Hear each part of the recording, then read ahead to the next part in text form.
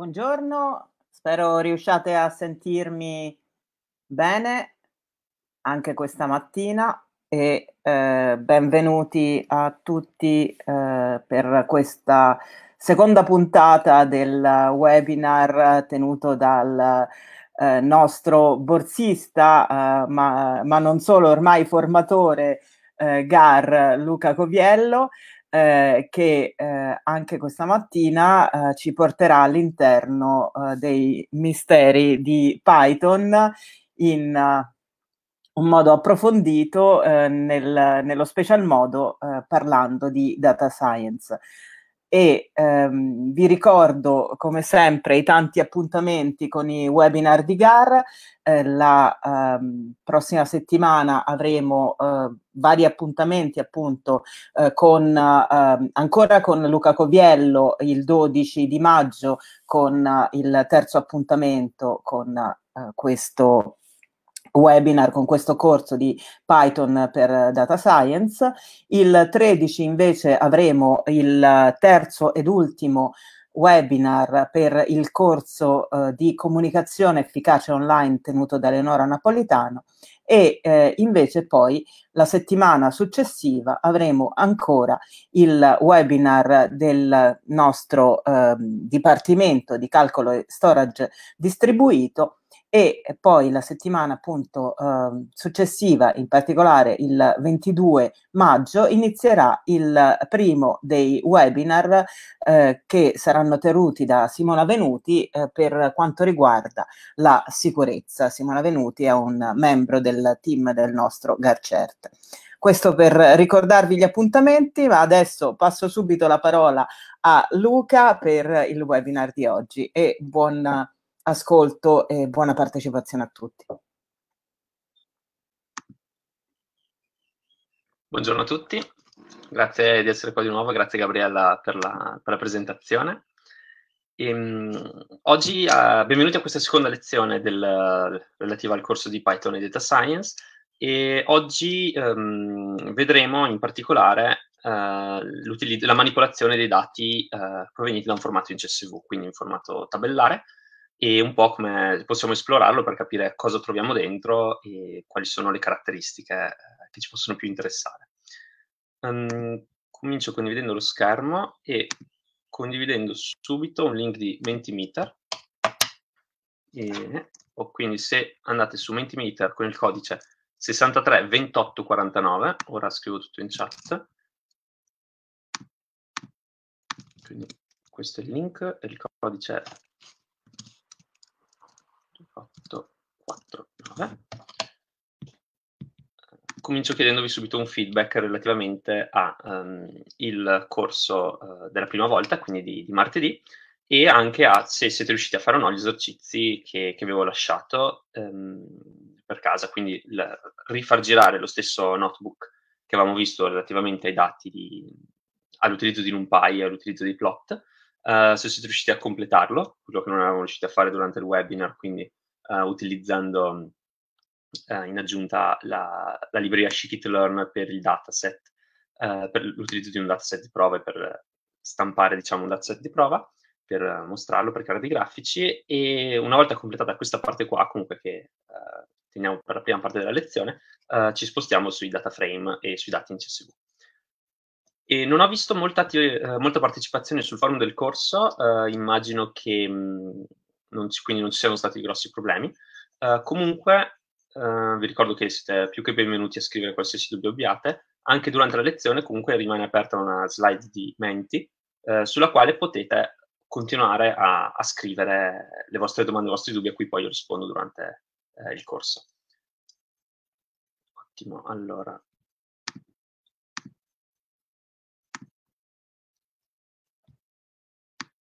Ok, allora Partiamo subito con um, diciamo, la, prima, la, prima, slide di Menti, uh, quindi relativamente al webinar di martedì quindi, uh, e a quello che avete, siete riusciti a fare a casa, potete segnare quanto siete in accordo o in disaccordo con le seguenti affermazioni. Quindi avete effettivamente imparato qualcosa di nuovo, uh, se è organizzato diciamo, secondo ciò che vi aspettavate, ciò che avreste voluto, se, se, è stato semplice o meno da seguire, uh, considerate comunque che sono concetti non banali per tutti, quindi uh, va bene, quindi insomma rispondete con, con onestà, uh, che è sicuramente più utile, e poi uh, se, avete no, se siete riusciti o no a completare gli esercizi che c'erano da fare, che vedo che è quella la, la, risposta più, con una media un po' più bassa, quindi visto che però non ho visto molte, um, molte domande sul forum, vi chiedo subito di, in caso di, di, segnalare se ci sono problemi con l'infrastruttura che dovete usare, uh, con uh, il software che dovete utilizzare o se sono proprio concettuali o di riuscita.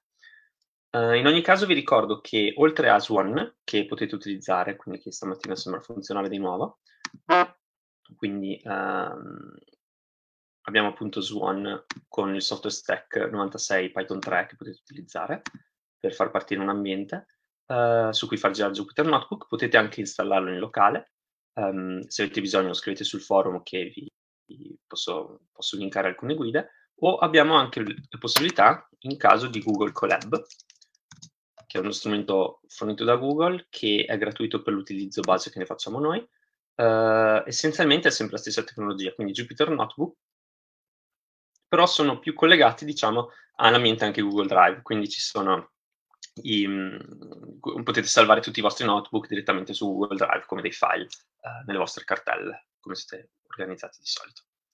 Ottimo. Allora, visto che credo che le risposte più o meno ci siano tutte, eh, vi lascio aperta questa slide relativa a eh, feedback e suggerimenti per la prossima settimana e per, scusate, per, eh, per di, relativamente al per il prossimo webinar insomma, che, che avrò organizzato. Um, e vi chiedo appunto quindi di, poi di, sulla slide successiva, formulare tutte le domande a quali possiamo, uh, posso rispondere durante questo webinar. Nel mentre,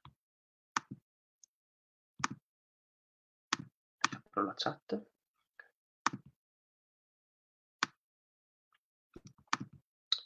Um, quindi io utilizzerò di nuovo l'ambiente locale di, di, Jupyter invece che utilizzare Swan o Colab, uh, perché essendo insomma un, un, utente relativamente esperto mi trovo più comodo utilizzare direttamente la, la struttura del locale. Uh, quindi quello che facciamo è far ripartire Jupyter Notebook o Jupyter Lab che sia, il comando è Jupyter Notebook. Um, io utilizzo anche l'opzione No Browser per evitare che mi apra automaticamente una finestra, visto che tanto ho già il link aperto qui. Ok.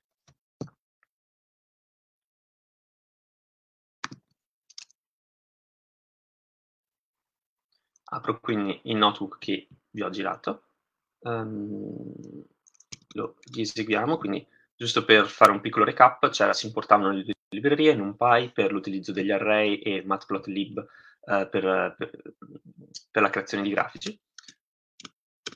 C'erano una semplice costruzione di un array partendo da una lista di, di valori.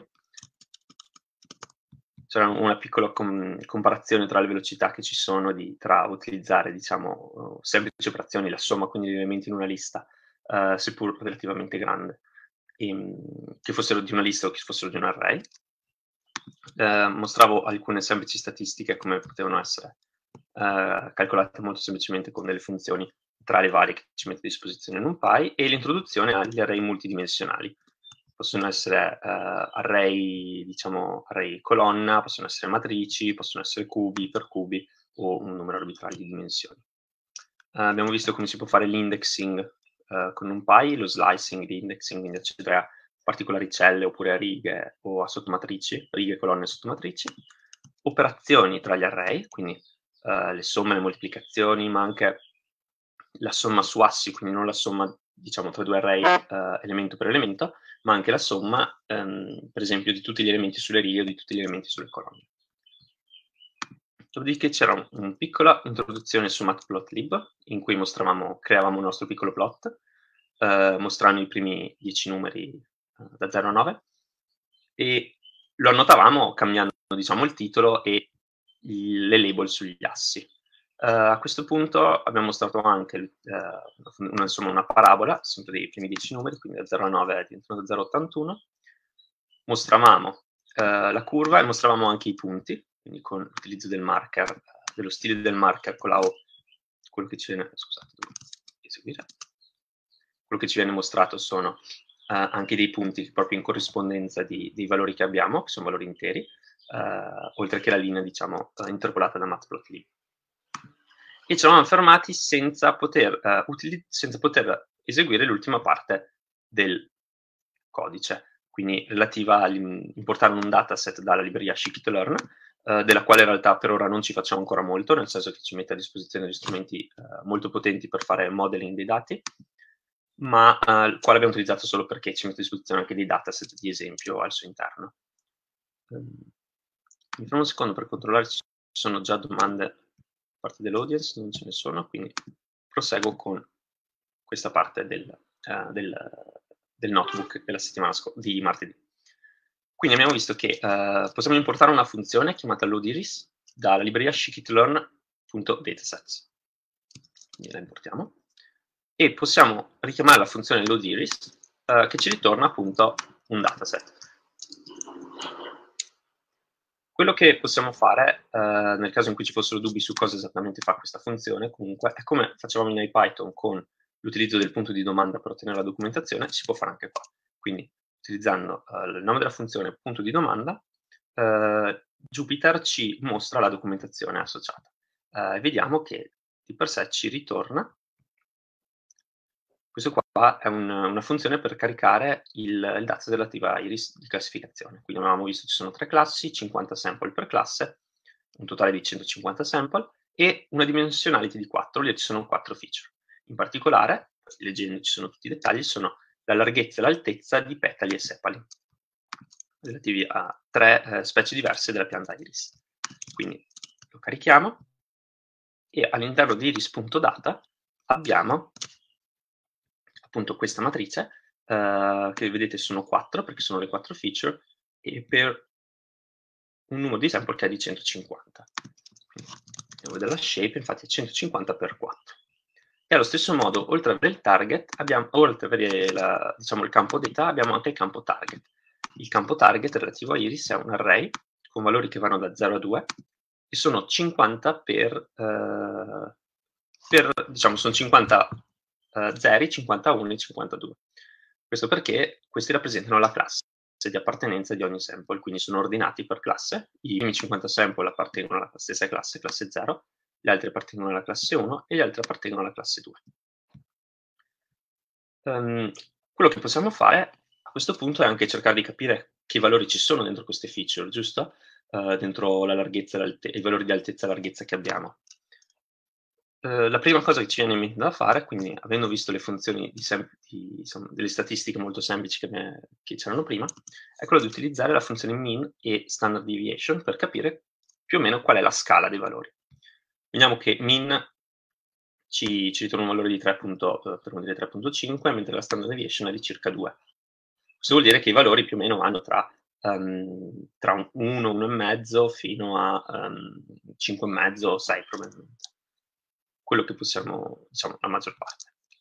Quello che possiamo vedere è anche eh, creare una media sugli assi. Cosa vuol dire creare una media su un asse? Vuol dire prendere tutti gli elementi di quell'asse e eh, considerarli per fare il calcolo della media. Dicendogli axis 0, ci ritornano quattro elementi.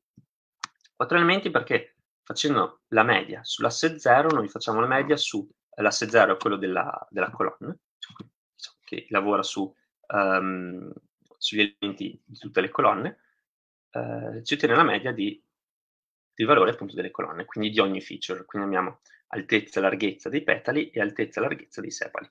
Vedete che l'altezza, um, la lunghezza è, più, è, maggiore della larghezza, chiaramente essendo petali, um, e che insomma c'è effettivamente una differenza nelle medie dei valori.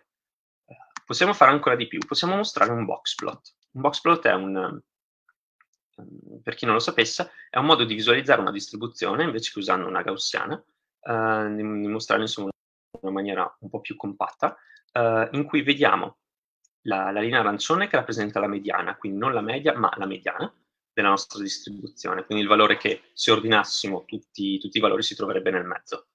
Um, vediamo, diciamo, nei box, eh, nel rettangolo più grande, dove si trovano i percentili, se non sbaglio sono il 25 e il 75 percentile, e nel resto vediamo, eh, questi sarebbero i baffi del boxplot, chiamati anche i whiskers, eh, in cui vediamo dove si poggia il, diciamo dal, da 0 a 25%, da 25% a 75%. Uh, scusate, da 50 a 75. E in, in, aggiunta abbiamo, in realtà si possono anche utilizzare chiaramente la funzione, uh, possiamo utilizzare il punto di domanda per vedere cosa ci ritorna la documentazione, vediamo che effettivamente i i whiskers fanno appunto um,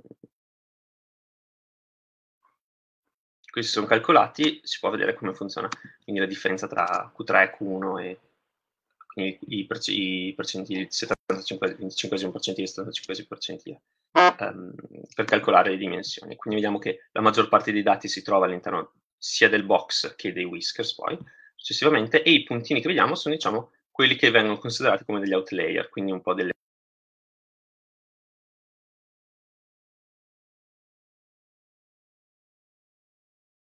lunghezza, eh, lunghezza, larghezza, lunghezza, larghezza di petali e sepali e vediamo che le distribuzioni sono effettivamente molto diverse. Se noi guardiamo le due uh, lunghezze, vediamo che una valori arrivano uh, diciamo intorno a 8, che credo siano millimetri, no, sono probabilmente centimetri, scusate, arrivano fino a 8 centimetri, e mentre la, per i sepali ci sono valori anche molto più bassi, qui il minimo è mh, poco più di 4, qui il minimo è diciamo addirittura 1, e per le larghezze il discorso è lo stesso, diciamo che le distribuzioni sono abbastanza uh, separate. Ok, questo è un plot, diciamo, già abbastanza avanzato che ci permette di visualizzare delle, delle feature col, con i loro valori e di metterle a confronto. Quello che possiamo anche fare però è mostrare, utilizzando uno scatter plot, quindi un plot per mostrare eh, ogni dato come un punto, eh, con due dimensioni, eh, due assi, mostrare per esempio la dimensione 0 e la dimensione 1 di ogni punto. Quindi eh, sull'asse delle x ci mettiamo la lunghezza dei, dei, petali, sull'asse y la larghezza dei petali, che vediamo che sono iris delta di due punti, tutti sample, virgola, prima dimensione, iris delta due punti, seconda dimensione, indice 0, indice 1.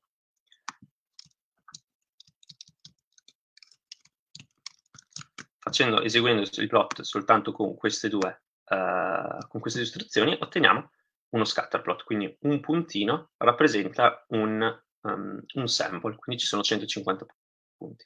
Chiaramente senza senza colorarli per qualcos'altro non si riesce a capire veramente cosa succede. Uh, quindi cerchiamo di colorarli per il target. Ci rappresenta il colore. Iris.target rappresenta um, è quell'array che abbiamo visto prima, con dentro i valori tra 0 e 2, che matplotlib mappa automaticamente tutti gli 0 a un colore, tutti gli 1 a un altro colore e tutti i 2 ad un altro colore. In questo modo ad ogni sample, oltre a dare le coordinate, quindi 150 coordinate di asse x e di asse y, diamo anche un colore. Quindi se noi li andiamo a colorare, vediamo che otteniamo tre, uh, tre colori diversi per le classi. Vediamo che ce n'è una, che non sappiamo se sia la 0, la 1 o la 2, chiaramente, però ne abbiamo una um, che è completamente separata dalle altre, diciamo, no? Vedete che ci possiamo tracciare dentro una retta um, che si, la separa dalle altre, mentre le altre sono un po' più mescolate. Quello che fanno le restanti due linee di codice sono um, impostare dei colori diversi, ok? Che possono essere più, più carini da vedere, uh, insomma anche più semplici per persone con, con problemi di, di visibilità, di, di, divisione dei colori. Uh, quello che fa è prendere dalla libreria matplotlib la, uh, il sottomodulo CM, sta per color map, e prendere il set 1, uno dei vari set di colori che ci sono. Si può provare anche con set 2, che vengono dei colori diversi. Sulla documentazione si trova tutto. E viene dato al, al parametro CMAP, che sta appunto per color map.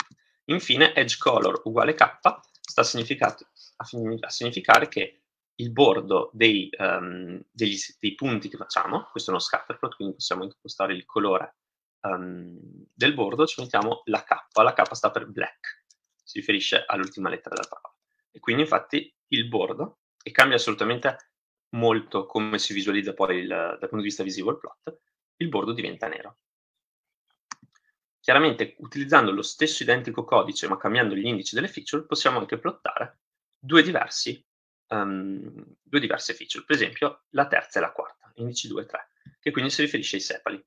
Vedete che qua ancora di più la prima classe, i colori sono corrispondenti a prima, quindi il rosso di prima e il rosso di adesso, è completamente separata dalle altre, quindi è una specie, diciamo, relativamente molto diversa um, rispetto alle altre. Le altre due sono un po' più simili, vedete che utilizzando però i sepali sono, diciamo, molto più discostate, no? C'è ancora qualche, qualche dubbio magari su alcuni sample, però in media sono, sono molto ben separate.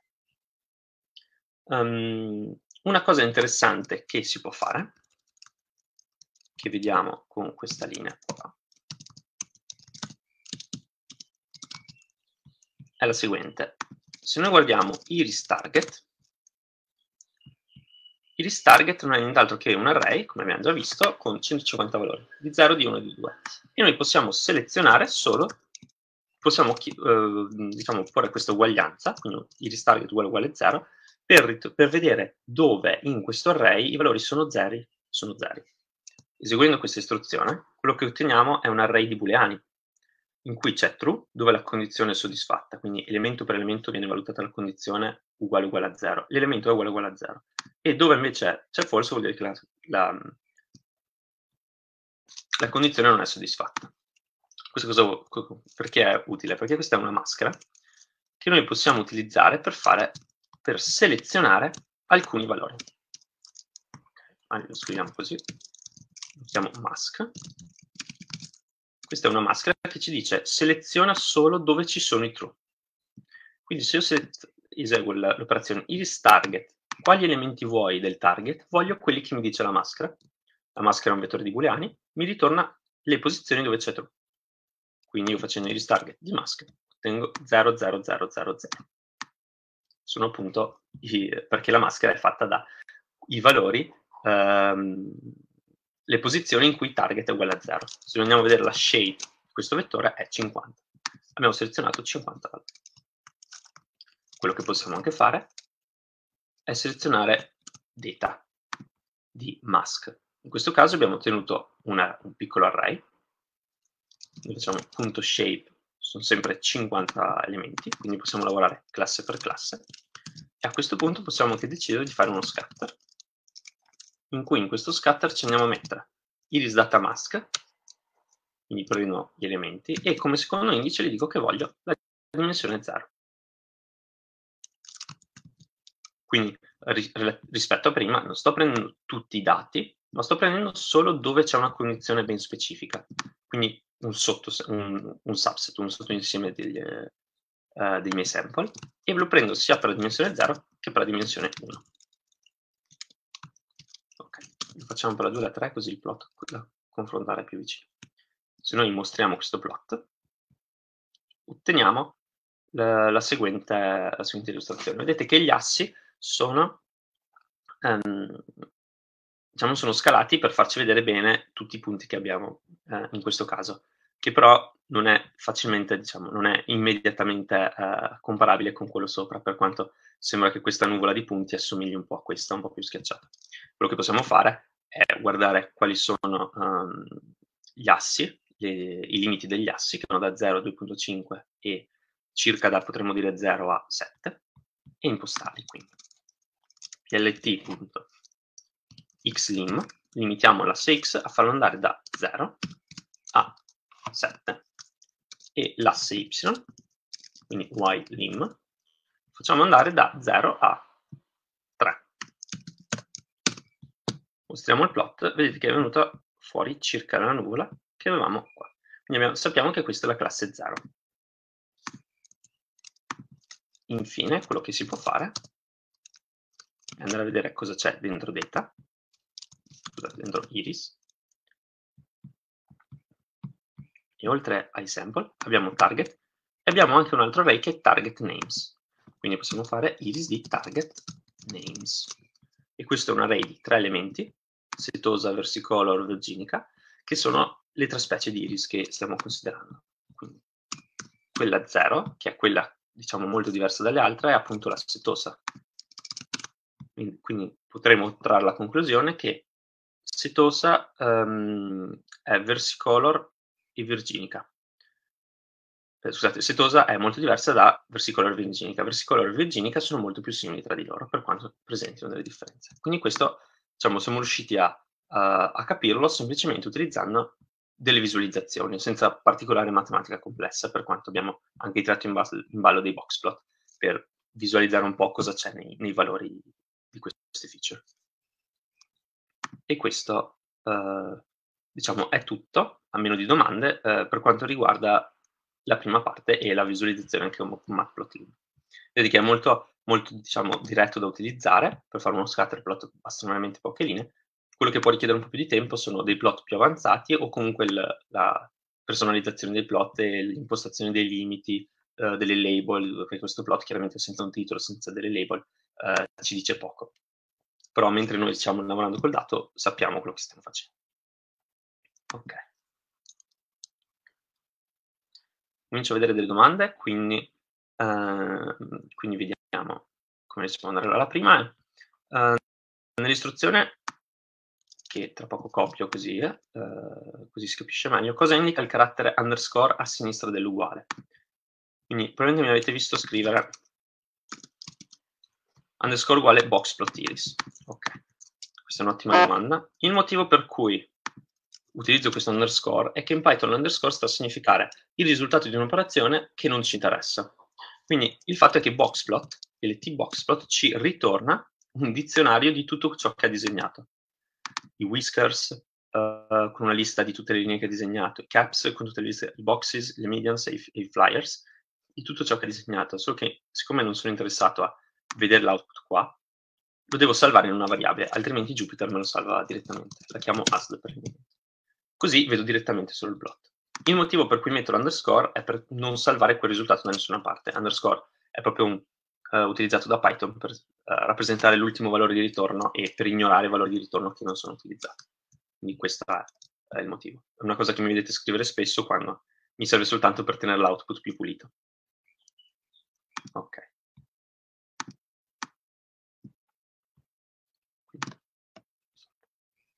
È possibile riferirsi alle colonne di iris data per nome? Uh, questa è un'ottima domanda anche perché introduce proprio il data frame che andiamo a vedere adesso e la risposta purtroppo è no.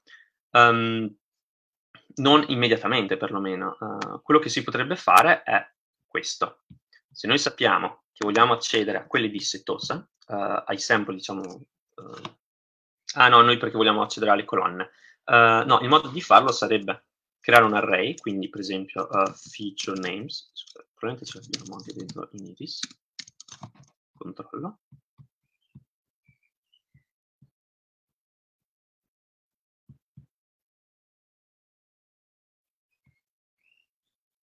C'è la descrizione, c'è un feature names. Esatto, quello che possiamo fare è dire, ok, io voglio accedere a questa feature qua, sepal length cm, l'unico modo di farlo è questo. Innanzitutto mi serve che questo sia un array, oppure posso fare punto index di questo, se ci ricordiamo sulle liste c'è um, la funzione index e ci ritorna qual è la, uh, qual è l'indice del valore che noi andiamo a cercare all'interno del dizionario. Per esempio utilizziamo petal length invece che sepal length. Um, petal length lo troviamo in posizione 2. In posizione 2 vuol dire che possiamo utilizzare questo come un unico indice di iris.data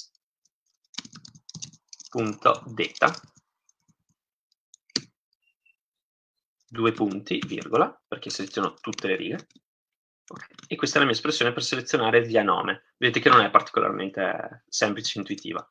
Uh, conviene appunto sapere che iris feature names sono queste quattro, sapere che la feature 0 è sepal length, la, la feature 1 è sepal width, la, feature 2 è petal length, la, la feature 3 uh, eh, petal width. Um, probabilmente io le ho scambiate mentre mi parlavo, non, non ne ero accorto, non cambia perché non abbiamo, uh, non abbiamo scritto alcun report, sicuramente è una cosa che va assolutamente fatta anche questa, quindi di guardare uh, quali, quali, feature sono rappresentate dove. Vedremo tra poco con il Panzdatframe che è più comodo e più utile eh, da questo punto di vista perché si può accedere per nome alle varie colonne o ai vari sample.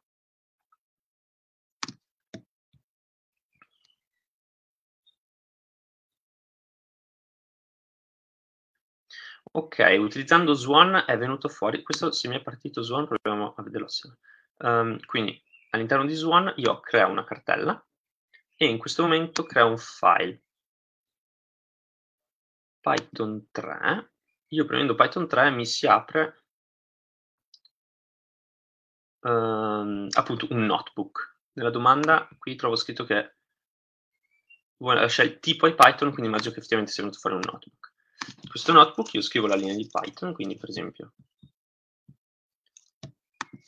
py, uh, print hello world e per eseguirlo e vedere l'output ho due possibilità. La prima è quella di andare sul tasto uh, run, che è questo, insomma, quello da videoregistratore, potremmo dire, definirlo, uh, e mi esegue la cella. L'alternativa, e vedo l'1 perché mi, mi, mi, suggerisce che è stata eseguita. Con shift invio, altrimenti, minus enter, shift enter, chiamatelo come preferite, um, è una shortcut da tastiera per eseguire la cella. Okay. Se vedete, um, per esempio, for i in range. Faccio questo ciclo molto semplice, ancora troppo veloce, ok, ancora troppo veloce. Vedete, l'asterisco vuol dire che sta eseguendo la cella. Quindi in questo momento sta eseguendo questa cella, ci mette un po' di tempo, quando finisce di eseguirlo compare il numero. Quindi questo è tutto. Quindi Shift Enter o Run qui sopra. Tenete anche conto che uh, i Jupyter Notebook Lab, quello che utilizzate, i notebook insomma, hanno il menu kernel in cui potete fare restart del kernel e clear all output, quindi potete riavviare il kernel, quindi tutte le variabili le perdete, perdete tutto ciò che avete eseguito, ma non il codice, e potete pulire tutti gli output per avere insomma una versione pulita. In alternativa potete anche fare restart e run all, quindi uh, vi rendete c'è qualcosa che non va, potete riavviarlo da zero e rieseguirlo tutto. Perfetto.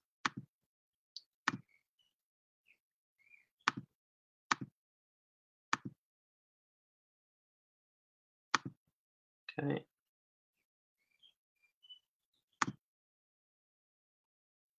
Che non mi aiuta. Ok. I prossimi notebook sono condivisi su Collab o li digitiamo noi seguen mentre seguendo il corso? Um, credo che, no, non sono sicuro che su Collab si possano visualizzare in tempo reale dei notebook, um, quindi in realtà li, o potete digitarli voi oppure come finisce la lezione io vi do il notebook in versione PDF e potete cercare di rieseguirlo, di riutilizzarlo, di riscriverlo per insomma, capire bene quello che, quello che sta succedendo.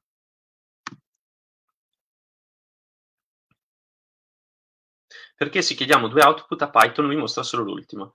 Esempio, uh, A range 10, B uguale range 10, B. Python mostra solo A, B e non A. Ok. Le quattro linee qui sarebbero quindi scritte così. Quindi per esempio A uguale NP a range 10 e stampiamo A e poi facciamo la stessa cosa con B e stampiamo B. Allora, io non scrivo, scriviamo soltanto la prima parte e lui ci mostra A. Facciamo che questo lo cambiamo. Se io tolgo queste altre due righe e come output B, mi stampa, anche, mi stampa solo B da 20 a 29 gli elementi, vedete. Il motivo per cui fa questo è che um, è che uh, in realtà noi quello che ci mostra in output è solo l'ultimo output. Questo diciamo assomiglia molto a, ai, ai, linguaggi funzionali in un certo senso, nel senso che l'ultimo valore è quello ritornato, l'ultimo valore che c'è nella funzione o nella cella è quello ritornato. Quindi l'unica cosa che ci stampa è effettivamente l'ultimo, l'ultimo valore. Per mostrarli entrambi dobbiamo chiaramente usare un print. Ma questo è vero anche in altri casi. Eh. Esempio, se io avessi qua un'altra variabile, c uguale 3, lui non mostrerebbe assolutamente nulla perché l'ultimo valore, c uguale 3, non viene ritornato da nessuna parte, cioè uh, viene, il valore 3 viene salvato all'interno della variabile c e quindi non c'è niente da stampare. Infatti vedete che qua non stampa assolutamente nulla. Se io però aggiungo dei print a print b, allora lui me li mostra. E da notare che posso metterli anche in qualsiasi punto e lui funziona. Ottimo. Perfetto. Allora, ciò che faremo ora ehm, è spostarci invece su un'altra libreria. Quindi creiamo un nuovo notebook. Chiamerò pandas.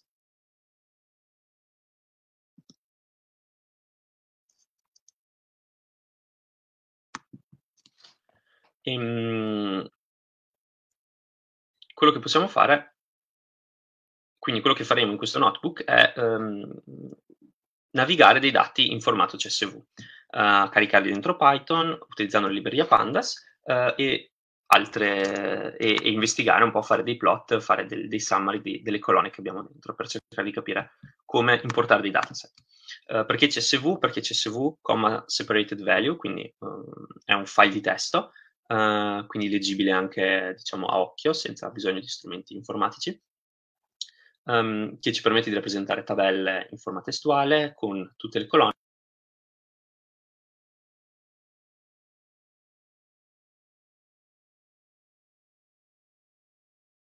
A volte vengono utilizzate le tabulazioni, si chiamano anche TSV, um, ehm, però il concetto è sempre lo stesso, quindi ogni riga uh, rappresenta una riga della tabella e ogni colonna una colonna eh, le, le, colonne sono separate dal punto e virgola o dalla virgola. Quindi la prima cosa che dobbiamo fare, che io in realtà ho già fatto, è installare Pandas. Di nuovo, se siete su Conda, se siete su pipenv, se siete su qualsiasi altra cosa, il comando dovrebbe essere uh, lo stesso per tutti gli altri pacchetti, aggiungete un install pandas. Ricordatevi la S uh, finale. Ok, ora io l'ho rilanciato, ovviamente mi, mi controlla mi fa un lock di tutte le dipendenze controlla che sia tutto a posto, però in realtà c'è già. Quindi quello che poi posso fare è importare pandas e come importiamo NumPy come NP possiamo importare anche pandas come PD. Uh, è diventato uno standard de facto, si è ispirato chiaramente a NumPy, però visto che anche questa è una libreria che si usa tantissimo, uh, quando, si, quando la, si porta, la, si importa poi non si può farne a meno, uh, viene importata come PD per poterla utilizzare in maniera più semplice. Ora, che dati andrò a visualizzare? Um, i, i, dati che andrò a visualizzare li trovate sulla piattaforma uh, del corso, quindi uh, dalla home del corso di Python per Data Science potete andare in basso dove ci sono uh, i, i, materiali e nel modulo 2 c'è una cartella. Nella cartella, che potete anche scaricare in toto, trovate dentro alcuni CSV, addirittura un SQLite e un piccolo readme. Questi file sono stati presi da questo repository di GitHub, che ormai ha qualche anno, ma um,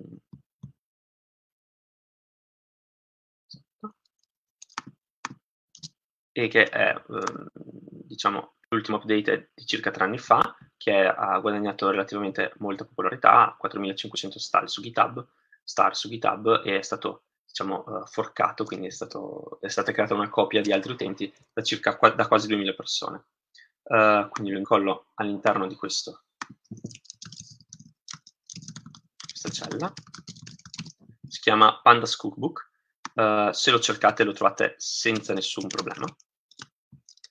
Uh, posso comunque incollare il link in chat.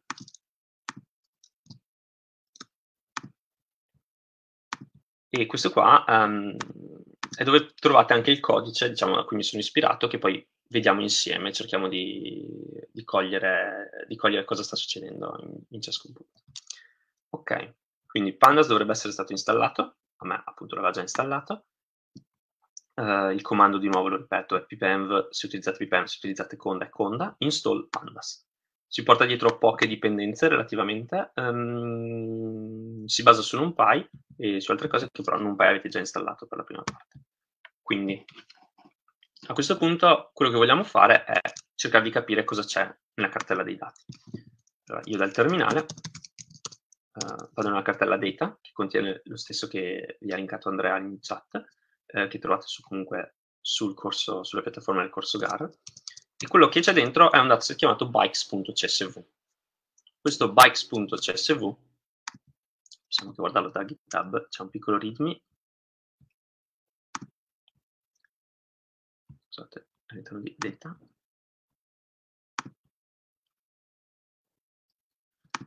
Ed è un dataset di, uh, di quantità di ciclisti uh, in un anno uh, a, a Montreal. E vedete che ci sono anche per altri anni, quindi siete anche liberi di scaricare le versioni per gli altri anni, dal link che trovate nel readme. E il motivo è che, uh, insomma, apparentemente, io non lo sapevo, l'ho scoperto leggendo qua, uh, Morale è una città piena di ciclisti e quindi hanno guardato, diciamo, le, le tratte, le piste ciclabili più interessanti e, hanno, e contano, diciamo, dei, dei, dei, modi di contare automaticamente quanti ciclisti ci sono e poi fanno delle statistiche sull'utilizzo. Uh, tali statistiche sono anche interessanti quando applicate a, per esempio, um, concetti di shared mobility, no? Quindi abbiamo diciamo, le, le, bici che ci sono in città che sono disponibili a chiunque eh, con una tessera e quello che succede molto spesso è che alcuni nodi sono molto più visitati di altri oppure in alcuni momenti si utilizza soltanto una, una tratta diciamo dalla periferia verso il centro dal centro verso la periferia. Quindi quello che succede è che ogni notte eh, le biciclette devono essere riportate per ribilanciare tutte le stazioni della città. E quindi insomma questi tipi di dataset poi risultano anche molto interessanti per capire all'interno del concetto di smart city come una città eh, si comporta, come si evolve quando, ha, diciamo, quando, vengono utilizzati certi mezzi di trasporto quando, quando altri, quali sono le vie più, uh, più, più, seguite, le vie meno seguite, le strade dove accadono più incidenti, meno incidenti, tutta questa serie di concetti. Mm. Ok, quindi quello che facciamo è andare a visualizzare cosa c'è dentro questo dataset. Quindi io dalla shell faccio rivedere, utilizzo il comando less che semplicemente eh, lo apre senza stamparlo direttamente, mi mostra un po' del file che posso eh, poi scrollare. Vediamo che c'è un, una intestazione qui sopra, con dei caratteri un po' strani, vedi che ci sono questi E9, F4, poi vedremo meglio cos'è. Uh, il dataset è in francese, nel senso che le, le righe um, date è chiaramente in, in inglese, però i nomi delle piste uh, di Montreal sono in francese, quindi è per questo che questi caratteri ci stanno dando dei problemi nella visualizzazione, non è in UTF-8, per chi sa cosa vuol dire, ma utilizza un altro encoding. Dopodiché vediamo che quindi date dei nomi di uh, piste ciclabili, che non pronuncerò perché uh, per quanto io abbia studiato il francese non penso di saper pronunciare queste, questi nomi in maniera decente, e vediamo che all'interno ci sono appunto tot valori all'interno di una riga. Quindi in questa riga abbiamo 0101-2012, che quindi è la data, uh, abbiamo dei valori separati da punto e virgola. Vedete qua in questo punto ci sono due punti e virgola, scusate il gioco di parole, perché non sono presenti i dati. Infatti la prima colonna, eh, qualche brf, non saprei, données non disponibili. I dati non sono disponibili. Données in francese vuol dire dati. Um, essendo i dati non disponibili, quindi vedete che la prima colonna ci sono sempre due punti e virgola. Quindi ok, teniamo traccia del fatto che ci sono dei missing value. Uh, non so quale sia il motivo, sarebbe da investigare il motivo per cui non ci sono dati. Ok, quindi abbiamo essenzialmente una, una data e una quantità di ciclisti che passano su quella pista. Perfetto. Ora, utilizzando la libreria di Pandas, proviamo a caricare i dati. Per caricare un CSV Uh, Pandas ci, molto, ci, viene molto in, in aiuto, molto, ci, viene molto, ci mette a disposizione delle funzioni ad alto livello molto molto interessanti rispetto alla lettura attraverso file stream normali uh, di CSV, che comunque Python mette a disposizione. Con read CSV una funzione che noi gli diamo diciamo un file path, quindi un percor- un, il percorso verso un file, o anche altre cose che però non serve che stiamo qua a vedere e possiamo specificare determinate altre cose, quindi separatori che ci sono, se c'è un delimitatori a cui fermarsi, se c'è uh, un header, se c'è da saltare delle righe, se vogliamo leggerlo in chunk, quindi in pezzi, se vogliamo, avere, vogliamo parsare particolari colonne, se c'è un encoding diverso, tutte cose che adesso alcune andremo a vedere. Diciamo che è molto molto specifica per quasi qualsiasi problema voi possiate avere con questi tipi di file. Anche perché poi quello che succede è che spesso tutti utilizzano un po' la loro convenzione personale, quindi a volte bisogna un po' adattarsi a quello che si trova e questo è uno di quei casi. Quindi read CSV, leggiamo il file all'interno della cartella data um, bytes CSV. Io ci provo.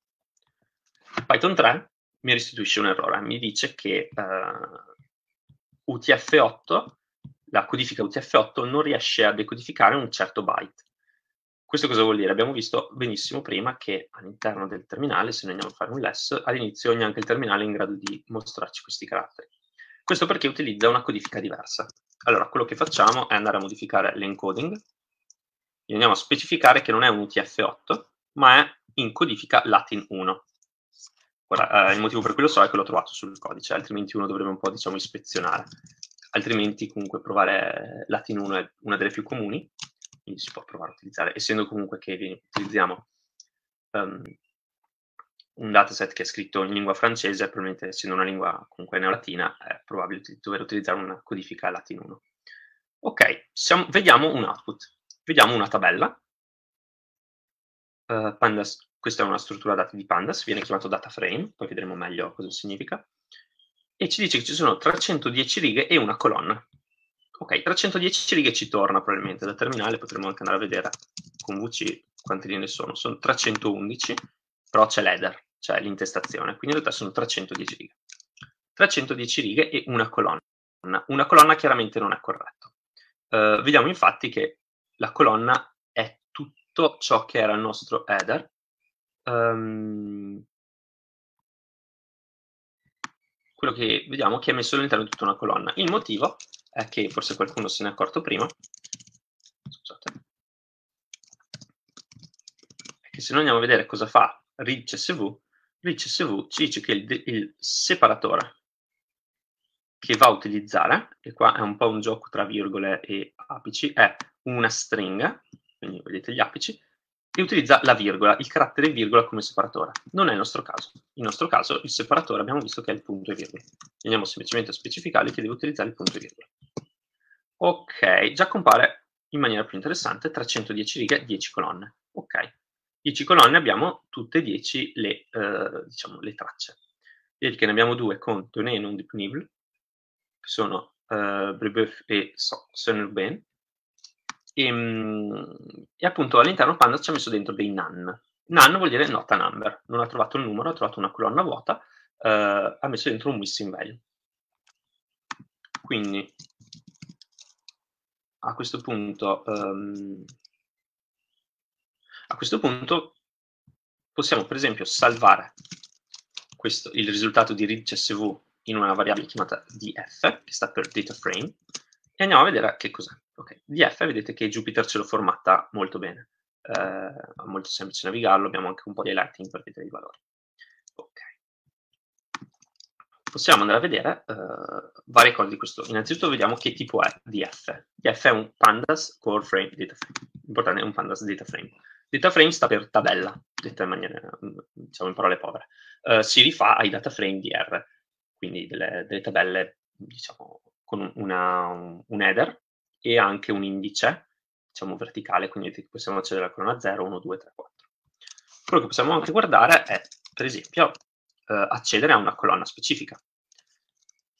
Innanzitutto possiamo guardare la lista delle colonne di. Per accedere ai file csv-one dovete caricarli, credo, quindi potete andare, scusate questa piccola digressione che però penso sia molto importante per tutti, Um, qui dentro dovrebbe esserci la possibilità di caricare o da qua o da Chernbox. Credo che per esempio andando da Chernbox si possano caricare i file da poi visualizzare lì.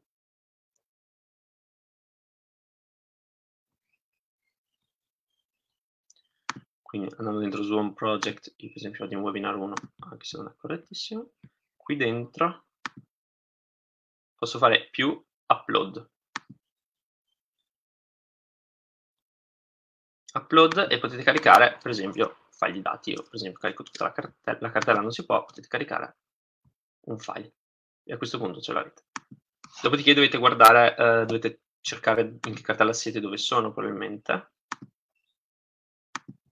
Magari rispondo offline a questa domanda su come um, su dove trovare pandas uh, data frame, oppure mi mettete un errore un po' più, un po più specifico in chat, così riesco a capire meglio. Uh, df.columns, quindi vediamo che c'è tutte le colonne che ci sono. vediamo che sembra una lista, ci sono delle parentesi quadre, uh, ha un dtype object, questo dtype è una cosa che sembra di NumPy ed è un indice. Effettivamente è un indice nel senso che possiamo accedere a queste cose dall'oggetto di pandas dicendo che voglio quella colonna lì. Quindi la domanda che si rifà a quella di prima, posso accedere alle dimensioni con il nome? La risposta in questo caso è sì. In questo caso qua, um, appunto possiamo uh, accedere, possiamo selezionare per esempio la colonna 0, vediamo che si chiama date, ok? Possiamo accedere alla colonna 1 ed è Berry 1.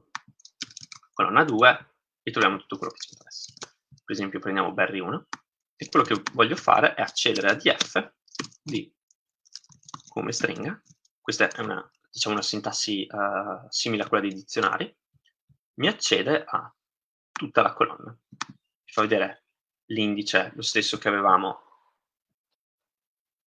sulla, diciamo, a sinistra della nostra tabella, fa vedere i valori che ci sono dentro, vedete, 3583, 3583, fino a 2247. 310 valori, non è cambiato, mi fa vedere il dtype. dtype in 64, ok, ha capito che è un intero. Perfetto. Allora ci sorge spontaneo. E la colonna che non ha valori, che, che tipo ha? Andiamo a vedere. Cambio il nome.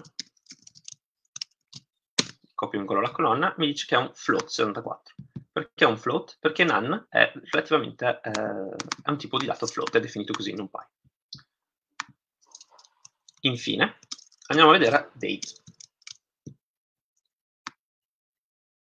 Date è un tipo object. Ok. Uh, object sta a significare che è una stringa. Noi non vogliamo che sia una stringa, vogliamo che sia una data, no? Perché probabilmente con una data è facile fare poi dei conti relativamente alle date. Uh, quello che vogliamo fare è quindi um, convertire questo date in una data. Pandas ci viene di nuovo in aiuto e possiamo specificare um, parse dates, quindi un altro argomento di dire guarda che ci sono alcune date e è la colonna date. Vedi che è cambiato l'output e ci fa vedere 2012 2.1, 2012 3.1, ci fa vedere questo tipo di output qua. Infatti df di date adesso è diventato un datetime 64, un tipo dati che c'è all'interno di, uh, di Python. Quando si lavora con le date, è molto importante capire qual è il formato di data che si sta utilizzando. Um, il tipo di dato che si sta utilizzando, il tipo di formato di data che si sta utilizzando. Perché ci sono due formati, come sapete, c'è il formato diciamo, europeo e c'è il formato americano. Uh, il formato americano ha il mese e l'anno, e poi mese, giorno, anno, mentre il formato europeo ha giorno, mese, anno. In questo caso si vede abbastanza facilmente che siccome sono, sembrano essere ordinate per, uh, per giorno, arriviamo al 31.1 e quindi abbiamo giorno-mese. Quindi quello che bisogna specificare è che the first è true, nel senso che il formato di, di data che stiamo utilizzando ha per, come prima cosa il giorno.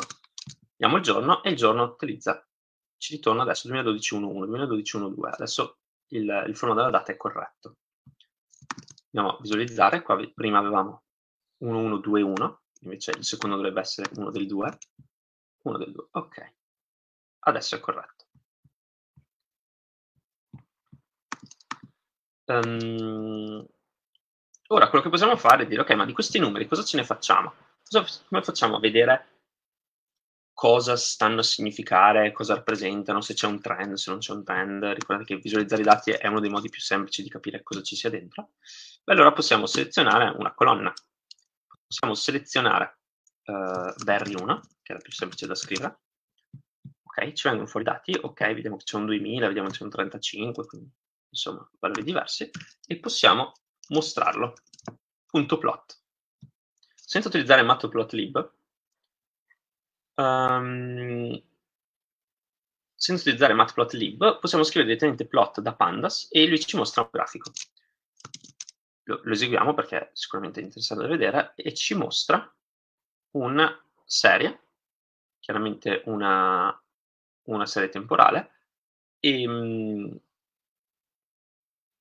di qual è il volume di ciclisti all'interno di quella pista.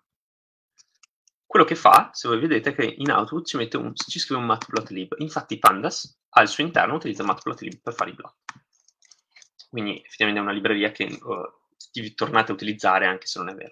Conoscere matplotlib è utile perché tutti i, diciamo che Pandas poi fa, passa tutti gli argomenti per specificare cosa volete su un plot, i colori, il, i marker, tutto quello che vi pare, le, la dimensione della figura, che è quello che sto per modificare ora, a matplotlib, quindi conoscere matplotlib Infatti ora io a plot passo un argomento che è fig size, che è figure size, la dimensione della figura, perché è un po' piccola.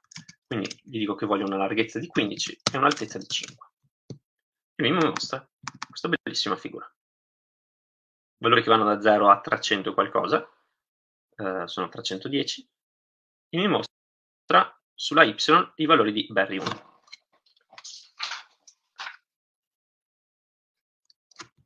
Ok, avere sull'asse delle x i valori da 0 a 300 non ci aiuta granché, nel senso che sì, ok, sono in 300 valori, però sarebbe bello avere la data qua sotto.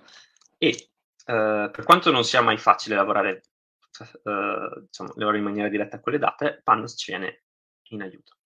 Quando vi ricordate prima parlavo di indice, parlavo di questa colonna a sinistra, che va da 0 a 310, che sono i nomi delle nostre righe.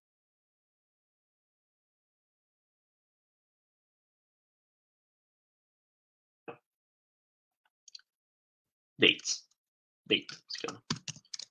Vado a specificare che caricando questo CSV, che di nuovo non è nient'altro che una tabellina in formato eh, testuale, dico che l'indice da utilizzare, che è quello che voglio utilizzare per diciamo, avere uh, la chiave primaria della mia tabella, potremmo dire così perché si intende di, di SQL, allora è la data, che tra l'altro stiamo anche passando proprio come una data, stiamo proprio convertendo in, forma, in tipo di dato datetime 64. Facendo così, scompare la colonna date da qua e ce la troviamo a posto dell'indice. Ok, che è messa sotto, perché appunto è tipo un indice verticale, questo invece è un indice orizzontale. Ecco. Se noi andiamo a selezionare la colonna adesso, prima ci dava tutti i valori e a sinistra l'indice era da 0 a 310. Ora, quello che succede è che in realtà ci dà un valore corrispondente a una data. E questo viene riflesso quando facciamo il plot. Quando facciamo il plot, Pandas ci mette direttamente i valori dei mesi, i nomi dei mesi, formato corto, sull'asse delle X. Ci specifica anche che è una data, perché sa che è una data, a partire da gennaio 2012, gennaio, febbraio, marzo, aprile, maggio, giugno, luglio. E non tanto sorprendentemente, probabilmente, tra eh, gennaio e marzo nessuno va in bici, quasi nessuno va in bici. Diciamo, ci saranno al massimo, ci sono dei picchi di 400-500 persone che vanno. Um, perché car- probabilmente, evidentemente fa troppo freddo. Sarebbe molto interessante incrociare un dataset di meteo um, per vedere quali sono le temperature. Poi vedete che ci sono nei momenti in cui un trend, diciamo, che si rialza, in giugno, e luglio, in agosto cala leggermente, probabilmente molta gente in ferie ed è via durante l'estate, settembre si ricomincia di parte, poi si fa sempre un po' più freddo. Quello che è sicuramente molto interessante è di vedere, vedere che, oltre a questo trend che possiamo visualizzare, ci sono dei crolli eh, negativi su giornate in cui probabilmente non si usa assolutamente la bici. Sarebbe carino capire eh, se sono giorni della settimana, se, che, tipo, che, tipo, di giornate sono, no? se sono in comunità con specifiche, per esempio qua crolla per un paio di giorni, se c'è qualche ponte, qualcosa del genere. Um, tutto questo visualizzando il dato. Ora faccio una seconda visualizzazione prima di guardare che domande ci sono. E questa seconda visualizzazione ha una singola differenza. Non vado a specificare nessuna, um, nessuna colonna. Prendo il mio dataset, chiamo punto plot. In particolare seleziono la dimensione, perché um,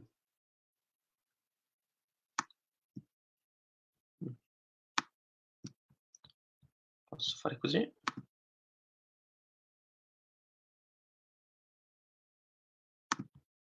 Di più purtroppo, a meno di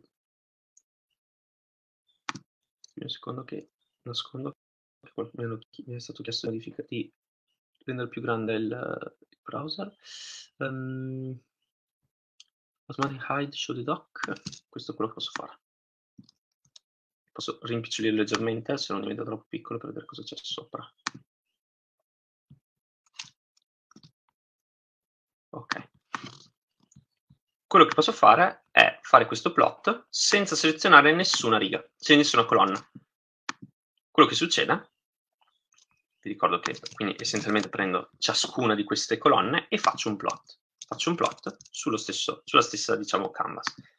Quello che vediamo, che è molto interessante per come ce lo presenta Pandas, è la cosa seguente. Lo ingrandisco un po' ancora, un...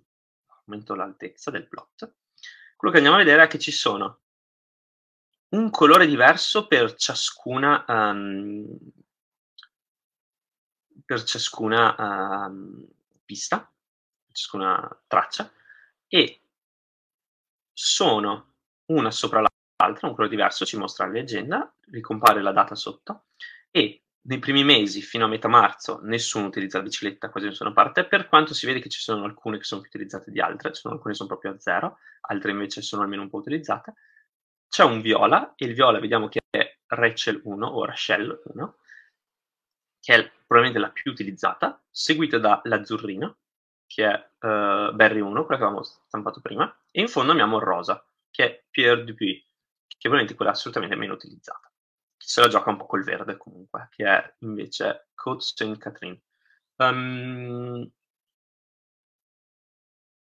quello che inoltre si può vedere è che questo trend è più o meno riflettuto, uh, riflesso su tutto l'anno, su tutte le piste, quindi uh, cresce, probabilmente perché cresce la temperatura, tutti vanno più in bici, è più bello andare in bici e decresce verso l'autunno. Inoltre ci sono questi picchi negativi che sembrano essere uh, presenti in, dappertutto, si vede bene qua, crescono tutti, decrescono tutti, crescono tutti, decrescono tutti, crescono tutti, decrescono tutti. Questo è molto interessante per investigare il perché è così, uh, cosa che probabilmente vedremo tra poco. Mm, ok, ora controllo se ci sono domande. Quali sono i pro e i contro di, una, di un ambiente rispetto ad altri? Uh, sicuramente la comunità di utilizzo e Brew non, Brio, Brio lo utilizzo per installare uh, software in generale su Python, su Mac, ma non, non, per installare pacchetti Python perché non penso che sia nato per quello e non penso che le permetta quello. Quindi ho per esempio una versione di Python installata con Brew, però poi installo con altre cose. Pip uh, è la versione, diciamo che quello che si vede è Conda contro Pip di solito. Um, Pip ci permette di... è, è la versione, diciamo, originale, una delle, delle, delle prime di, di, Python per installare, per installare pacchetti. Conda non installa veramente pacchetti, installa binari. Um, è un po' più fornito, penso, Conda, nel senso che permette di installare so, non cose sem- semplicemente Python, ma anche cose più complesse. pipenv um, invece ci permette di, di, installare utilizzando pip pacchetti Python. Uh, secondo me le, i, due più, i, due principali che conosco io, che utilizzo io, sono pipenv e Conda. Uh, Conda è, diciamo, system wide, si può utilizzare per uh, caricare un environment da qualunque punto del computer. Uh, mentre pipenv devo essere in una cartella e attivare quell'environment lì. Questo ha sia dei vantaggi che degli svantaggi. Sicuramente pipenv lo utilizzo in una cartella, so che lo utilizzo solo lì, non lo attivo in nessun altro caso. Conda, d'altra parte, posso accedervi dappertutto, quindi utilizzate quello che vi è più comodo, essenzialmente. Uh, secondo me questi sono i principali vantaggi e svantaggi.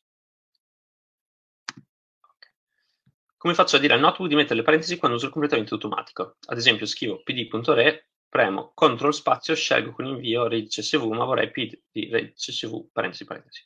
Uh, non so se esista un modo onestamente di fare questa cosa. Um, quindi um, uh, purtroppo bisogna, bisogna scriversi le parentesi da soli, credo. L'alternativa è cercare su Google. Ok dopo aver letto il CSV e averlo assegnato alla variabile di f, dicendo di f di 2 viene fuori un errore. Chi error? Ho saltato un passaggio? No, non avete saltato un passaggio. Uh, andiamo a vedere quando potrebbe venire fuori questo errore. Ok, ricarico il mio data, dataset di f e lascio perdere la parte in cui creo, l'indice con data. Quindi abbiamo 0, 1, 2 e mi viene scritto che facendo di f di 2, giusto? Viene fuori un key error. Allora, se io faccio di f di 2, mi dà key error perché non sa che cos'è. Il motivo è che non sta andando a prendere, non sta utilizzando l'indice verticale, ma sta utilizzando l'indice orizzontale. Le chiavi che si aspetta lì sono le colonne. Quindi il modo di accedere così con un valore qua direttamente è quello di metterci il nome della colonna il numero della colonna, se, se sono dei numeri. Cioè. Um, se si vuole accedere invece alle righe, ok, dato l'indice, si utilizza punto .lock, punto .lock 2. Punto .lock 2 ci restituisce proprio quello che è in seconda posizione. Ora mostro entrambe le cose così si vede bene. Abbiamo la riga 2, che è 2012-1.3, eh, che è 2012-1.3. Infatti, Berry 1 è 135, che è questo qua. E ci mostra solo quella riga lì. Okay. Poi ci sono anche modi più, uh, più interessanti e più, um, più, avanzati di selezionare parti di dataset, di data frame, che forse vedremo uh, se arriviamo. Però di base il motivo è quello, cioè di F, uh, parentesi quadre, accede, si accede per colonna. Di solito è quello che si fa più spesso. Per accedere per riga si utilizza appunto lock e parentesi quadre, non tonde. Quindi qua. stare per location.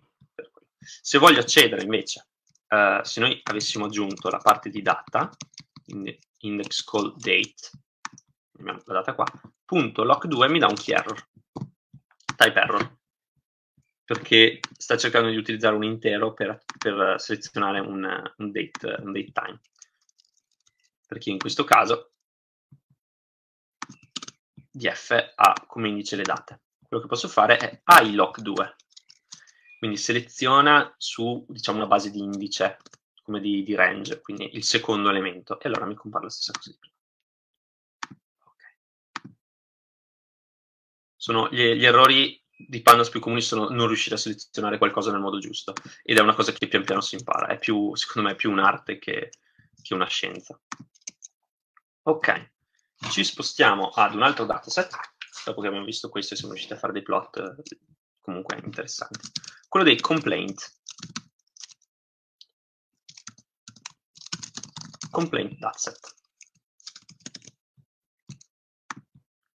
Ok, um, complaint dataset è all'interno di un altro file, si chiama New York uh, eh, 311 Service Requests.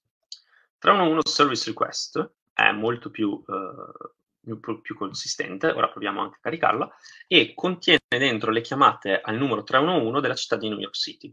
Uh, sono relative al 2013, sembra, questi dati qua. Uh, il 311, ho cercato un attimo cosa volesse dire, sono praticamente dei servizi uh, della municipalità del, che i, i, cittadini possono richiedere, adesso poi impareremo a conoscere un po' meglio cosa sono. Quindi proviamo a caricarlo. pd.read csv, ormai abbiamo capito, cartella data, 311 service request. Provo a leggerlo, vediamo cosa succede, senza mettere nessun altro tipo di parametro. Ok, innanzitutto vedo una scritta rossa che poi adesso andremo a visualizzare. Vedo 100.000 righe, un po' di più, e 52 colonne. Ok, non sembrano esserci problemi di, di, di separatori, per quanto noi saremmo anche potuti andare a vedere qua, abbiamo visto che separatore chiaramente la virgola, ci sono alcuni missing values, e quello che vediamo è che ci sono, per esempio, una chiave, riferita quindi alla segnalazione, al reclamo, quando è stato creato, quando è stato chiuso, se è stato chiuso, ci sono anche dei NaN, che agenzia è stata chiamata, se è la polizia o se sono altre. Um, il nome dell'agenzia, quindi vedete questa è la sigla, questo è il nome, New York City Police Department, uh, questo qua è Department of Health and Mental Hygiene, il tipo di complaint, quindi noise, commerciale, noise veicolo, quindi se c'è stato del rumore, gente che uh, fa rumore in strada o se è un negozio o se è un veicolo che fa rumore, o um, se c'è un parcheggio illegale o qualcosa del genere. Um, un determinato descriptor che viene affibbiato uh, dove si trova, cioè il tipo di, dove, di, locazione, lo zip code che è una specie di cap, uh, la strada una serie di altri campi che dipendono dal tipo di reclamo, quindi non sono sempre presenti. Per esempio, ferry direction, la direzione del, del traghetto, chiaramente non c'è se c'è un, un rumore su, sul marciapiede. Latitude e longitude, quindi dove sono riferiti, eh, che siano tutte e location, che è un, un miscuglio dei due, una, insomma, l'insieme dei due, che è eh, dove vengono, la, la, posizione dove è stato fatto il reclamo, a cui è riferito. Ok, il warning che ci dà Pandas mentre ah. carica è un D-type warning, mm, fa qualcosa di strano sui tipi. La colonna 8 have mixed type. Quindi colonna 8 è intesa come indici, quindi 0, 1, 2, 3, 4, 5, 6, 7, 8. Incident zip uh, ha mixed types, quindi vuol dire che ha dei tipi misti. Ora cerchiamo di capire cosa vuol dire. Specifica il type che vuoi utilizzare. Andiamo a vedere cosa vuol dire. Vuol dire che se noi prendiamo, innanzitutto salviamo questo dataset qua e lo chiamiamo uh, complaints per differenziarci da prima. Adesso ce lo legge e ce lo mostra. Ok. Andiamo a vedere punto columns di 8 è chiaramente incident zip, come avevo anticipato. Andiamo a vedere cos'è complaints di incident zip. Accediamo di nuovo come dizionario per nome della colonna. Ok, vediamo dei valori. Ci dice che è un d-type object. Questo ci fa un po' strano, almeno a me fa un po' strano, perché in realtà vediamo che sono degli interi, no? Però object avevamo visto prima che era associato alle stringhe. Allora cosa facciamo? Chiamiamo una funzione di pandas che è drop duplicates, una unique di SQL. Fammi vedere tutti i valori, ma non tutti i 111.000 i valori. Fammi vedere, diciamo, uh, non farmi delle ripetizioni. Guardiamo cosa c'è dentro. 400 valori e sono questi qua. Uh, pandas ce li, ce li, mostra, diciamo, compressi. Noi invece vogliamo vederli tutti. Vediamo punto values. Punto values è un, una funzione, in realtà un attributo, che ci, po ci, porta verso un array di NumPy. Vedete che abbiamo tirato fuori un array di NumPy. Sorpresa, le colonne di pandas non sono nient'altro che NumPy array. Infatti pandas al suo interno utilizza C, utilizza Cython, utilizza tutto ciò che gli serve per essere efficiente. Questo è uno dei motivi per cui si utilizza. È estremamente efficiente. Poi col tempo sono anche riusciti a renderli ancora più efficienti, in realtà, con ulteriori librerie, um, più avanzate però. Ok, allora vediamo, ci sono dei numeri che non sono degli interi per quanto ci sembrano solo degli interi, non sono degli interi perché c'è un none. Ok, nota number abbiamo visto che erano dei float, quindi traduce tutto in float. Comunque sono tutti punto zero, quindi non ci importa. Andiamo in giù e vediamo che ci sono alcuni che sono stringhe. Cioè alcuni sono memorizzati con gli apici anche, no? in questo dataset. Anche perché, vedete, per esempio, questo qua ha dentro un trattino, per qualche motivo. Eh, è chiaramente un formato di codice diverso.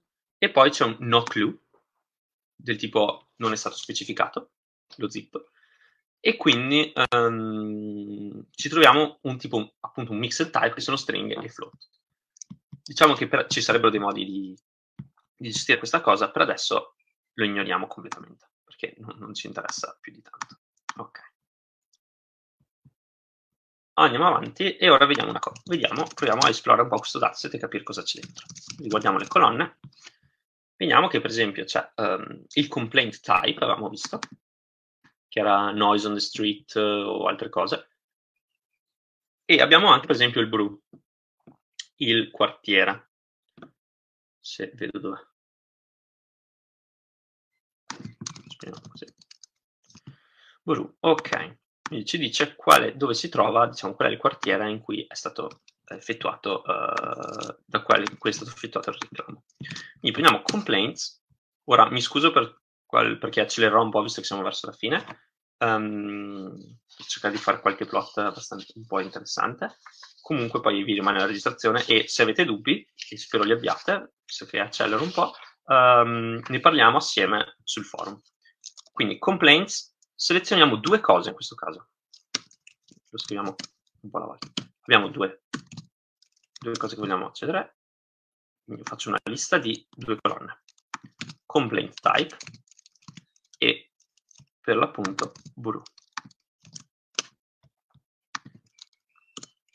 Queste sono le mie calls a cui voglio accedere. Ok, come ci accedo? Complaints e invece che dargli una colonna gliene do due, calls, e mi esce un data frame, vedete che è ancora un data frame con due colonne, abbiamo noise, street walk, illegal parking e il quartiere dove è stato fatto. Um, chiaramente possiamo utilizzare un numero di colonne che vogliamo. Se noi vogliamo scrivere questo in un'unica, uh, in un'unica cella, si scrive così, cioè in un'unica riga, scusate. Complaints di una lista, come prima diciamo le parentesi quadre per stare un significato al dizionario, dammi entrambe queste colonne. Bisogna mettere un'altra lista. Ok. A questo punto quello che possiamo è fare un value counts. di questo, uh, di questo data frame. Cosa vuol dire value counts? Va a contare, um,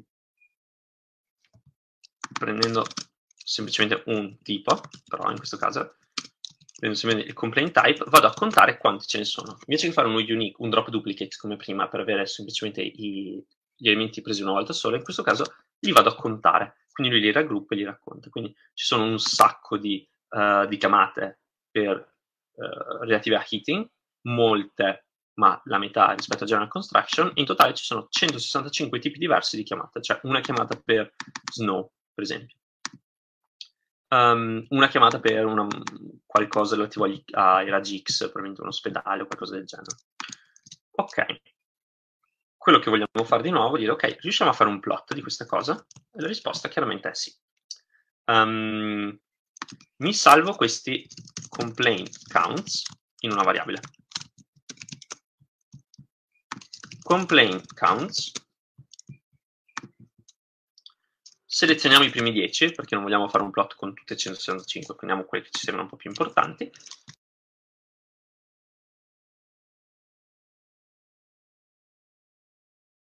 questo caso, complaint counts non è un data frame, infatti non ci compare bello, di, bello visualizzato come le altre tabelle. Se noi andiamo a vedere il tipo, è una serie. Una serie sta a significare una colonna. Data frame, tabella, serie, colonna. Una sola colonna io posso fare lo slice sui valori. Posso prendere il primo, posso prendere il nono, posso prenderli tutti, posso prendere i primi 10. Seleziono i primi 10 e dico che voglio fare un plot. Il plot che voglio fare è un bar plot. Mi voglio mostrare delle barre. E aggiungiamo la fix size come ci siamo abituati a fare ho messo una pagina di troppo qua e qua. Ok, prendo la mia serie, seleziono le prime 10 righe, accedo al modulo relativo ai plot e faccio un bar plot. E il bar plot mi viene con i count, heating, general construction, street light condition, DOF literature request, plumbing, paint, blah, e il conteggio. Una riga di pandas con, ok, non, magari non banalissima da scrivere la prima volta, però una volta che si prende un po' la mano, non cambiano tanto tra i vari pezzi. Ciò che possiamo anche fare è una selezione, eh, diciamo, di soltanto un tipo di complaint. Quindi, per esempio, quello che vogliamo fare è questo. Prendiamo complaints accediamo a complaint type scusate complain no ecco la maiuscola la T forse sì. e come facciamo prima con NumPy facciamo questo um, questa uguaglianza con un particolare valore. In questo caso prendiamo noise street sidewalk. Possiamo utilizzare quello che, chiaramente che ci interessa di più.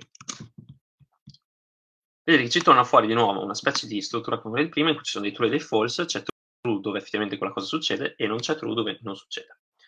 Uh, a questo punto possiamo determinare, possiamo estrarre le righe, solo quelle a cui vi è associato un complaint type di, di valore noise street sitework.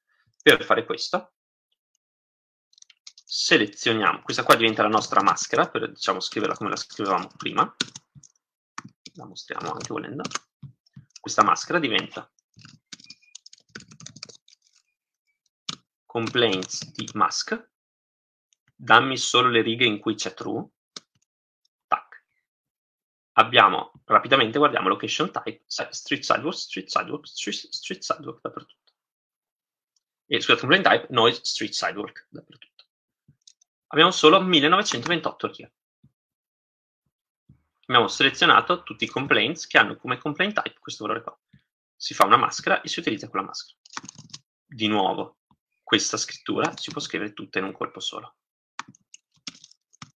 A volte non conviene, mi rendo conto, però io posso scrivere complaints di tutto questo. Questo diventa un indice, diciamo, no? Seleziono solo dove quella cosa lì è uguale a quella cosa lì. Sembra quasi una query SQL per certi aspetti. In ogni caso, questa cosa qua io me la salvo in uh, noise complaints. La salvo in una nuova variabile, così l'abbiamo salvato. Ok. Um, posso anche guardare un'altra cosa. Posso anche dire, ok, però io, io oltre che complaint type posso anche guardare il brew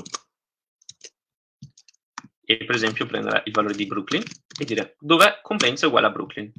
Mi esce chiaramente un'altra maschera. E questa la chiamiamo come isBrooklyn.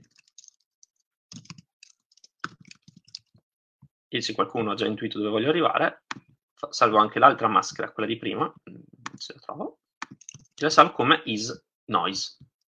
Ho due variabili. isNoise.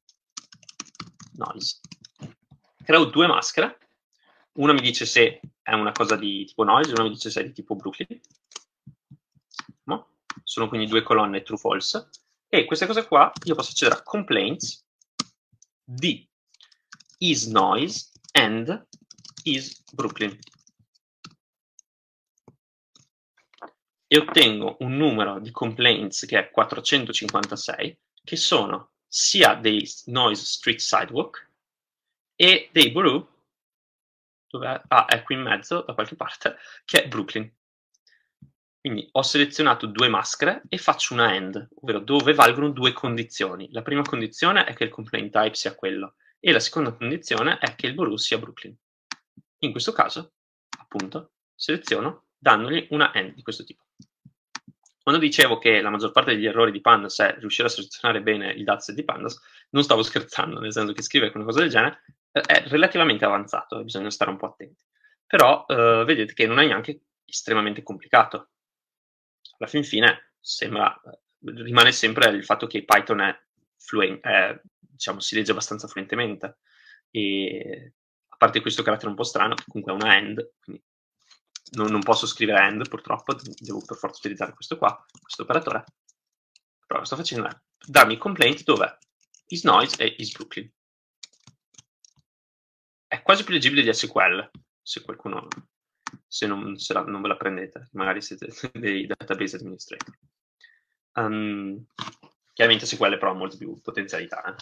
qui stiamo lavorando su una singola tabella. Infine, quello che voglio fare è um, è fare un plot di quali sono i, um, di quali sono i uh, quartieri più che si lamentano di più, che hanno fatto più segnalazioni per noise streetwalk, uh, indipendentemente dal quartiere. Quindi per ogni quartiere voglio vedere quanti ne hanno fatti per capire qual è quello che si lamenta di più. Quindi andiamo a prendere la nostra variabile noise complaints, che sono 2000 e sono tutti complaints indipendenti dal brew, um, che sono noise street sidewalk. Ok, questi qua li andiamo a um, andiamo a fare andiamo a selezionare il quartiere. Se vi ricordate? Abbiamo la funzione value counts. Conta per ognuno dei valori quante volte compare. Vedi che sono pochi sono uh, sette righe 6 righe. Manhattan, Brooklyn, Bronx, Queens, Staten Island e unspecified. Ce n'è uno in cui non si sa non era specificato il quartiere in cui si trovava. Manhattan ce ne sono 900, uh, eh, Staten Island ce ne sono 36 e tutti gli altri sono valori in mezzo. Ok. Questo ce lo salviamo in noise complaints counts. Vediamo se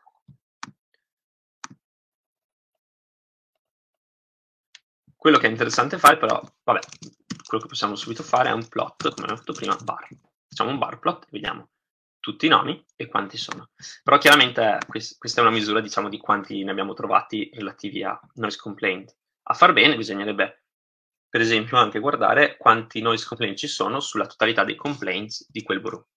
Quindi possiamo andare a fare, a creare una variabile complaint counts, in cui vogliamo contare quanti uh, complaint ci sono per ogni brew e penso che a questo punto magari non, non viene subito scritta al primo colpo, però eh, uno si immagina di poter selezionare la colonna Buru, quindi quartiere, e contare, fare il, il conteggio di tutto. Per ogni Buru, come abbiamo fatto prima, fare il conteggio di tutti. Cosa è cambiato da prima? Prima abbiamo preso i noise complaints, quindi solo quelli relativi a chiamate relative a noise. In questo caso invece li prendiamo tutti. Vediamo che in questo caso è Brooklyn a essere in testa. In Brooklyn è dove chiamano, fanno più uh, richieste. Andiamo a verificare adesso una, una, divisione tra i noise complaint, andiamo ad effettuare questa divisione, e complaint counts. Moltiplichiamo anche per cento e otteniamo una percentuale vedete che anche questa istruzione è molto molto comoda, una divisione uh, di nuovo è elemento per elemento, dove l'elemento è il nostro indice, quindi prendo il Bronx di uno e dell'altro e faccio la divisione, prendo Brooklyn di uno e dell'altro e faccio la divisione, moltiplico per 100 per avere una percentuale. Vediamo che Bronx chiama l'1,5% dei complaints del Bronx sono relativi al noise. Il 3,78 3,8% invece di quelli di Manhattan sono uh, il 3,8% dei complaints sono noise complaints a Manhattan. Quindi effettivamente in percentuale, relativamente a quanti complaints chiamano, Manhattan è quella che si lamenta di più per il noise. Vedete che ha un po' ribaltato la... Cioè, uh, un abbiamo un po' visualizzato anche insomma, in maniera percentuale qual è effettivamente la percentuale. Possiamo anche plottare questo secondo um, questo grafico qua, aggiungo delle parentesi, così utilizzo lui, faccio punto plot.bar. E voilà, Manhattan si ne chiama molti di più in percentuale di tutti i suoi complaint, per i noise complaint, rispetto a quanto magari ci è potuto sembrare prima. Okay. Sembra molto, Manhattan sembra molto più uh, aggressiva contro noise complaint anche qua eh, sarebbe interessante andare a visualizzare il perché succede tutto questo. No? Uh, quali sono le ragioni sociali, uh, geografiche, no? la differenza tra i quartieri, tra le popolazioni, tra tutto quello che potete. Ok. Um, più tardi vi caricherò un notebook con delle altre righe che sono abbastanza interessanti che si rifanno al dataset delle bici e in cui si possono fare insomma dei conti anche relativi a, um, alle giornate, quindi quello che dicevamo, se vi ricordate, perché alcuni giorni c'è meno e alcuni giorni c'è più, uh, ci sono più biciclettate, uh, potete, visuali- potete, utilizzare il notebook per vederlo e poi vi chiedo uh, e vi consiglio molto calorosamente di, ok, abbiamo visto l'utilizzo di Pandas, abbiamo visto che si possono fare cose molto molto avanzate con poche righe. Quello che potete fare sicuramente è dire un mio dataset, voglio farlo sul mio dataset. Oppure se non avete un dataset, cercate un dataset. Cercate Open Data, ci sono vari siti, c'è Kaggle, uh, c'è Data World, ci sono moltissimi siti su cui trovate dei dataset più o meno interessanti, potete trovare stipendi, case, uh, crimini, tutto quello che vi interessa e potete analizzarli nel modo che volete. E giocateci, cioè, l'unico modo di imparare a utilizzare queste librerie, di farci poi veramente qualcosa e di avere un valore aggiunto da questo corso è di giocarci, di prendersi un po' di tempo, uh, di sbattere la testa contro tutte le schermate di errore che vengono. Um, sono più che disponibile a rispondere a qualsiasi domanda sul forum e poi ne parliamo. E poi insomma si può anche rivedere qualcosa di interessante che fate nella prossima lezione. Okay. So che è mezzogiorno, ma prendo uh, due minuti per rispondere alle due domande che ci sono. Esiste un modulo per la lettura di file XML? Sì. XML3?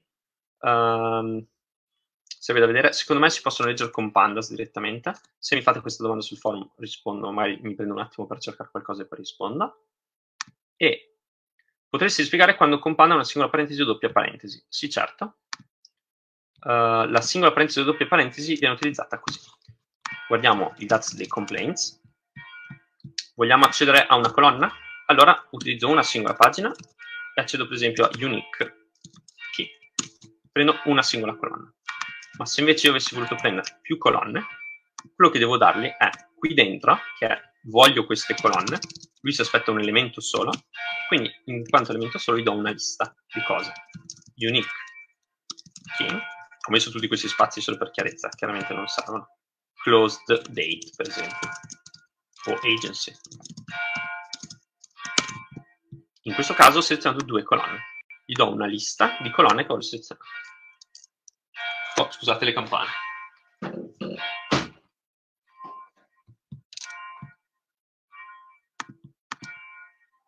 Ok, è arrivata qualche altra domanda. Quando cambiano nel DF, la colonna indice, devo essere certo che nella colonna i valori siano unici? Uh, uh, sì, non credo che Pandas... Non so bene cosa faccia, onestamente, perché non mi è mai capitato di trovare un'istruzione del genere. Sicuramente è una buona norma a farlo. Non so quale sia il suo comportamento. Si possono importare dati in formato JSON? Sì, si può importare anche in formato JSON. Um, di nuovo, anche perché uno dei modi di costruire data frame è proprio passargli un, uh, un dizionario che non è nient'altro che un JSON. Quindi sì, potete utilizzare anche JSON. Si utilizza, se non sbaglio, probabilmente c'è un read JSON, c'è un read quasi qualsiasi cosa. Se cercate la documentazione, pandas read beta, avete visto che comunque c'era già um, ehm, IO tools, eh, pandas, questa è proprio la sua descrizione, vedete che tutti i tipi di dati potete tirare dentro, CSV, um, ehm, fixed with text file, JSON, HTML, dalla clipboard potete tirare dentro, che è molto comoda, uh, ma da Excel, da HDF5 per chi lo avesse, da Stata, da SAS, da altre cose, da SQL, um, ehm, non JSON, ok, sì, qualcuno mi chiedeva prima XML, esiste un read HTML e potete dire che in realtà state utilizzando XML. Quindi sì, si può fare anche quello. Perfetto. Allora io concludo qua, e, ehm, grazie dell'attenzione e ci risentiamo poi appunto sul forum e poi martedì la prossima lezione.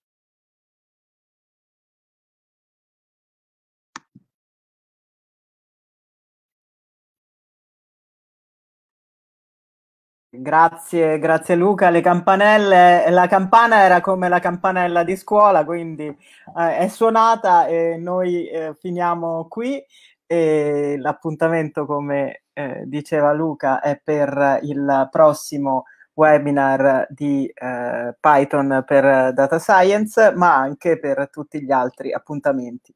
Per eh, tutto vi rimando al nostro uh, sito che è uh, learning.gar.it dove trovate tutte le informazioni. Buona giornata a tutti.